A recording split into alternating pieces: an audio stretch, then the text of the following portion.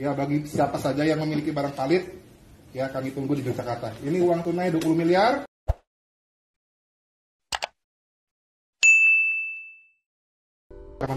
Assalamualaikum warahmatullahi wabarakatuh. Sekarang tanggal 21 April 2021 di Yogyakarta. Uang ya sebesar eh, 20 miliar. Seorang Cerazi Rich dari Jogja telah menyiapkan 20 miliar untuk membeli benda-benda mistis.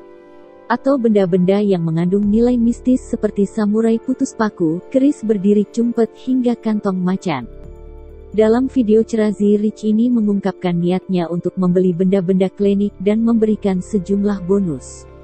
Video ini viral usai diunggah oleh akun Instagram @undercover.it Kamis tanggal 23 April tahun 2021.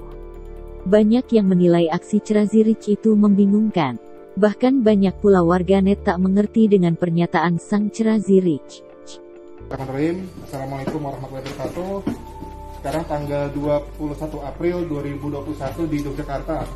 Uang ya sebesar eh, 20 miliar 20 miliar ya 20 miliar rupiah ya jadi uang ini kita persiapkan bonus buat barang siapa saja yang punya SM putus paku anti cukur anti panas keris berdiri cumpet dan kantung macan ya.